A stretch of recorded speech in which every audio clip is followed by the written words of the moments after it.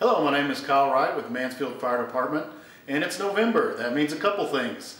Uh, first, it's No Shave November, so we're trying to bring awareness to the uh, National Firefighter Support, Cancer Support Network. Network. And it also means that it's turkey time. That's the purpose of this video is we want to teach you how to fry a turkey without burning your house down.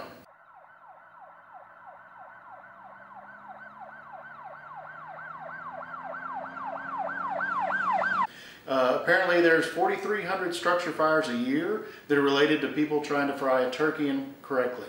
Also, uh, there are people that get uh, injured and we don't want that to happen to you.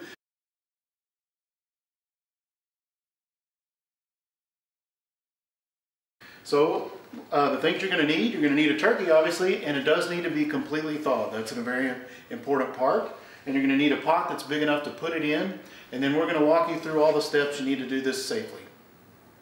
Okay, our first step is we're going to make sure our turkey is completely thawed, because if it is frozen when we put it in the hot oil, it will turn into a bomb.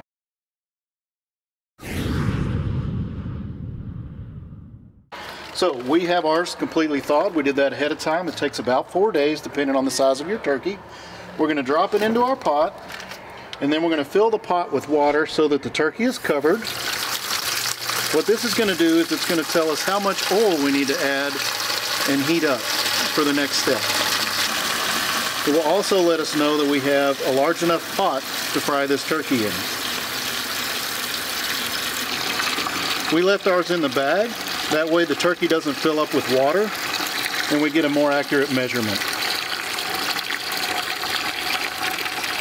Okay, now that we have the turkey completely covered, we know we'll have enough oil and we know we have enough extra space in the pot that we can fry this turkey safely. So I'm going to take the turkey out. And now I'll mark the side at the top line level of the water. And that way I will know how much oil to fill it, to put in it. Because overfilling with oil is one of the number one causes of fires. All right, we're ready to move on to step two. So things that we did off camera, we filled up our pot with oil up to our line that we made in step one already preheated our oil so now we'll move on to actually frying the turkey. All right, our next step is we're going to turn off the fire. That's one of the most important things we can do. Uh, one of the most common mistakes people make is they drop the turkey in, either it's too full, the turkey's still a little bit frozen, but the oil gets on the fire and that's where things go wrong. So in order to eliminate that uh, potential from happening, we're going to turn our fire off,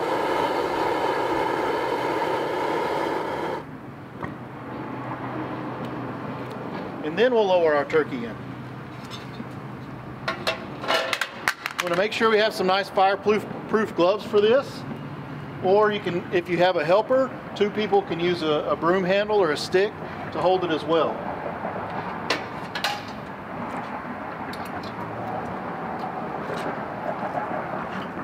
We're going to go nice and slow.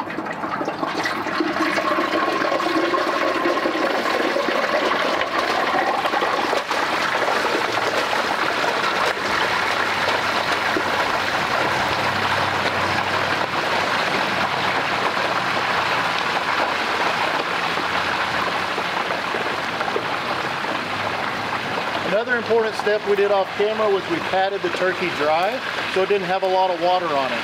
There's water going into oil. If you've ever uh, fried anything before, you've seen how that can be very reactive. And now, we're ready to turn our fire back on.